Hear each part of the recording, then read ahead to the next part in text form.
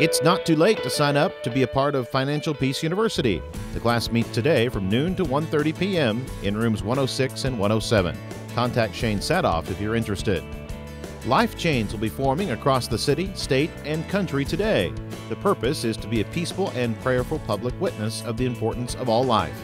In Wichita, chains will be in place from 2 to 3:30 p.m. today. Contact Maggie Newton or Arlita Harmon if you have questions. The Bloodmobile will be here next Sunday. If you would like to help save lives by donating blood, sign up at the display in the Fellowship Hall. Contact Jennifer McDonald for more information.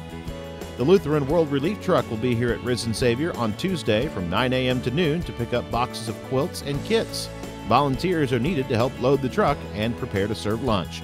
Contact Karen Morrison for more information. We have a new Connect group that's beginning soon. It's called Second Saturday at 7. They will meet on the second Saturday of each month at 7 p.m. at a different restaurant in the surrounding area. The first dinner is scheduled for Saturday, October 14th at Genova Italian Restaurant in Newton. Contact Bruce or Kathy Trapp for more details.